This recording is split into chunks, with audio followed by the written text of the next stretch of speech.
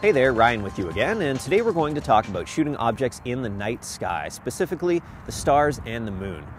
The first thing you'll need is a sturdy tripod like I have my camera mounted to here. Stars are very faint, so a long exposure is required to capture them properly, making handholding an impossibility. The moon is quite bright, but also very far away and requiring a telephoto lens which needs to be absolutely stable. Secondly, a rural area is key for shooting the stars.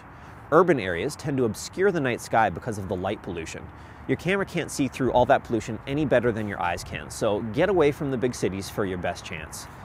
If your family does a yearly camping or cottage trip, that's the perfect opportunity to experiment with photographing the night sky. Lay the kids down to sleep and then spend a few hours getting some great shots. Thirdly, you'll need a lot of patience and a camera capable of manual exposures. The photo that you see here on the screen was a 30 second exposure, which is about the shortest amount of time you can get away with to capture the stars. Anything less and they'll be quite faint. Exposure times of many minutes or even hours are not uncommon when photographing stars. Had I left the camera on any of its automatic or program modes, it would have likely chosen a wildly inaccurate exposure.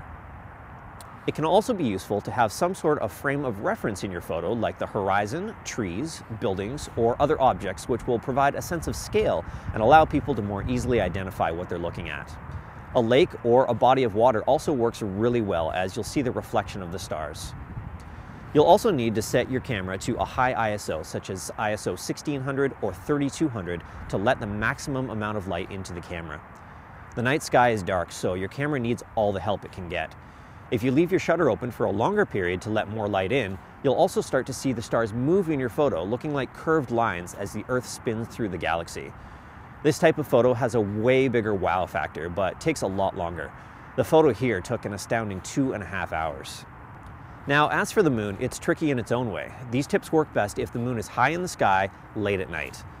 A full moon is best for the maximum visual impacts, and you'll want a camera that has a zoom of at least 300 millimeters for the moon to look large enough in your photos. This is where super zoom compact cameras can actually excel compared to a DSLR, as many of the lenses on super zooms go all the way up to the 600 to 800 millimeter range. Replicating that same focal length on a DSLR would cost tens of thousands of dollars. And because the moon is very bright, much brighter than you might think, you don't need to use a high ISO setting that a DSLR would excel at. You can leave your camera on a low ISO setting like 1 or 200 and set your aperture to something mid-range like f8 or f11.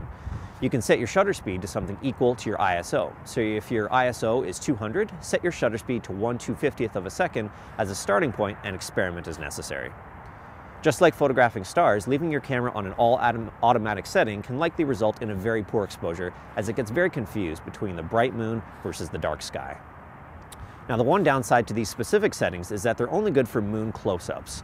If you try to capture a wider scene with these settings, the rest of the scene will be vastly underexposed. The only way around this is to catch the moon earlier in the evening when the sky is a little bit brighter so the moon's brightness won't be overpowering. That way you can use one exposure setting that will capture the entire scene properly. Have fun shooting the night sky and be sure to share your results with us on our Facebook wall. Thanks for watching and check back at blacks.ca for new videos.